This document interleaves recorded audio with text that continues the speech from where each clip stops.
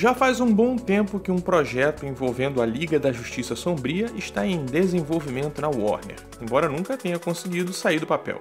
Inicialmente um filme dirigido por Guilherme Del Toro que acabou indo parar no limbo, o projeto acabou se transformando em uma série com produção de J.J. Abrams para o HBO Max, mas desde então não tivemos mais informações. Uma equipe composta por elementos sobrenaturais do universo DC, esse grupo já conseguiu sair dos quadrinhos pelo menos para adaptações animadas, ganhando dois filmes, Liga da Justiça Sombria e Liga da Justiça Sombria Guerra de Apocalipse.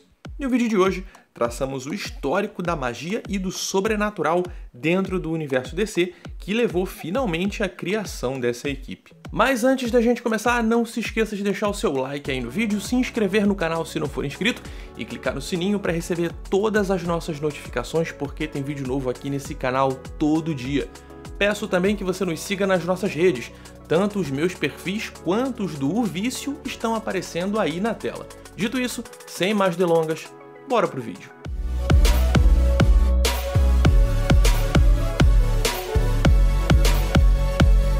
Embora esse nunca tenha sido o seu foco principal, a Liga da Justiça tem uma longa história com magia que remonta aos anos 60. Alguns de seus primeiros grandes inimigos foram magos das trevas, como Félix Fausto, que fez sua primeira aparição no primeiro ano da equipe. Nos anos 70, Zatanna, que é uma feiticeira genuína que lança seus feitiços falando palavras ao contrário, se juntou à liga, e a equipe geralmente tem algum membro especialista em magia desde então.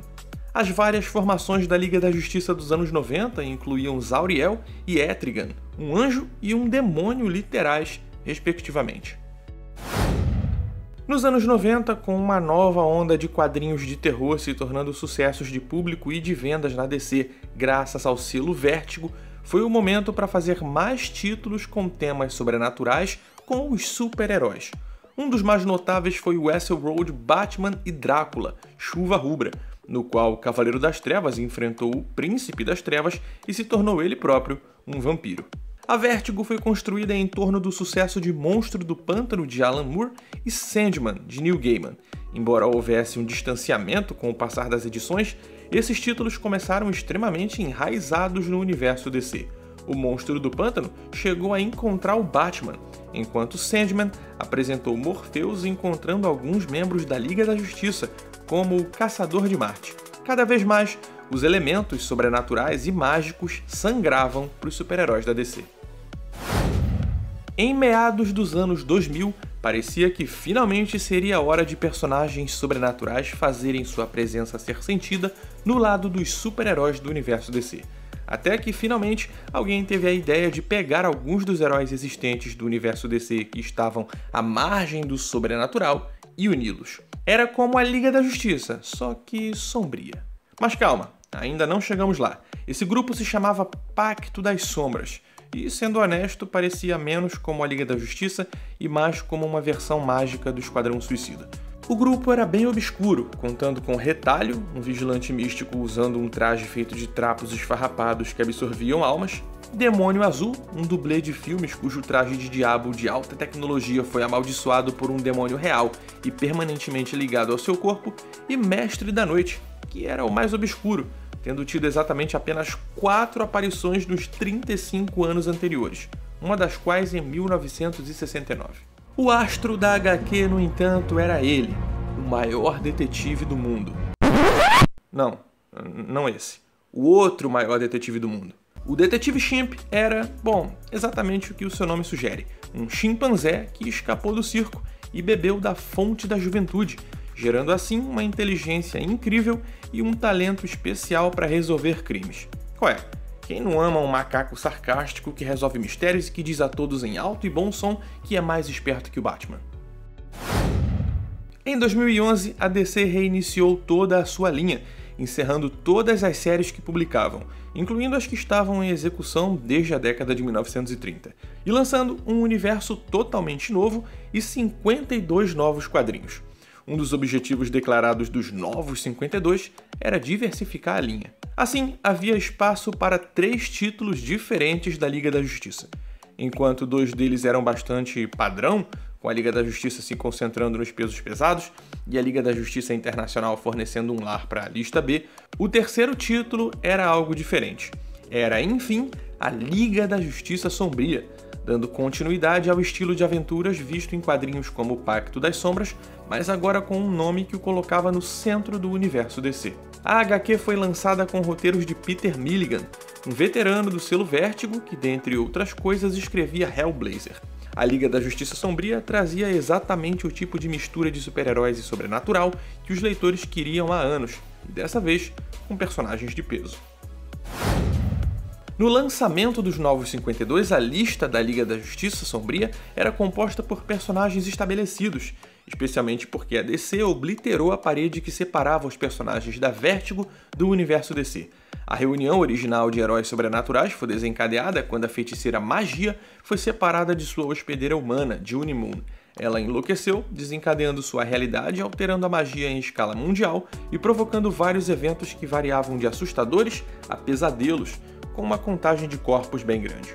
Desnecessário dizer que a Liga da Justiça tentou intervir, mas como o Superman tem fraqueza à magia, a Liga decidiu que talvez fosse melhor deixar outra pessoa lidar com isso. A outra pessoa nesse caso era Zatanna, a feiticeira que estava associada à equipe desde os anos 70. No momento em que o primeiro arco terminou e magia estava novamente ligada a June, uma nova equipe foi formada para lidar com os eventos sobrenaturais que a Liga da Justiça não poderia.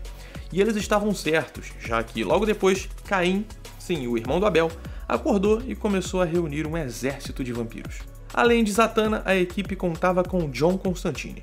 Eles se juntaram ao Desafiador, o fantasma de uma acrobata de circo assassinado que poderia possuir corpos humanos. Em seguida tivemos Shade, o Homem Mutável, um esquisitão interdimensional com um colete alucinógeno e superpoderoso que poderia alterar a realidade. E é claro, Madame Xanadu, uma vidente taróloga que os guiava em suas missões com visões horríveis do futuro. Inicialmente, a configuração da Liga da Justiça Sombria era que eles eram uma não-equipe, uma reunião solta de especialistas em ocultismo que achavam que seguiriam caminhos separados assim que não houvesse tantos Dráculas causando tumulto. Uma vez que ficou claro que não havia escassez de ameaças sobrenaturais ao universo, eles se tornaram um ramo oficial da Liga da Justiça. Embora a equipe continuasse a trazer personagens fortemente identificados com a linha Vértigo, também havia alguns rostos relativamente novos. Os novos personagens mais notáveis para certos valores de novo incluíam a versão da DC do Monstro de Frankenstein, que por conveniência foi chamado apenas de Frankenstein. Originalmente introduzido em 2008, o Frankenstein da DC foi um aventureiro viajante por quase 200 anos, lutando contra várias forças do mal e trocando partes de seu corpo, o que em um ponto resultou nele recebendo o braço direito e a espada flamejante do Arcanjo Miguel. Pois é. A primeira série da Liga da Justiça Sombria terminou em 2015, mas depois que um crossover chamado No Justice envolveu a equipe se dividindo em três forças-tarefa menores para lidar com um problema que ameaçava toda a realidade, a necessidade de um ramo focado no lado místico das coisas se manifestou mais uma vez. Assim, uma segunda temporada da Liga da Justiça Sombria foi lançada com a equipe criativa de James Tynion IV e Álvaro Martinez. Dessa vez, porém, a equipe foi liderada por um dos maiores nomes do universo DC, com certa familiaridade com mitos e magia, a Mulher Maravilha. Zatanna permaneceu como a conexão com a versão anterior da Liga, com John Constantine permanecendo em órbita em um papel coadjuvante. Mas a equipe também incluiu o Monstro do Pântano e Morcego Humano, que, embora não seja uma criatura sobrenatural, ainda era assustador o suficiente para se qualificar. Eles também recrutaram outro herói com experiência em lidar com o sobrenatural, que ligou a HQ a uma das outras encarnações anteriores dessa ideia, o Detetive Chimp. Bom, galera, por hoje é isso. Se você gostou desse vídeo, não se esqueça de deixar o seu like aí, porque essa é a forma da gente saber que vocês realmente gostaram e se inscreva no canal se você não for inscrito. Peço também que acesse o nosso site, ovicio.com.br. Vejo vocês numa próxima. Valeu!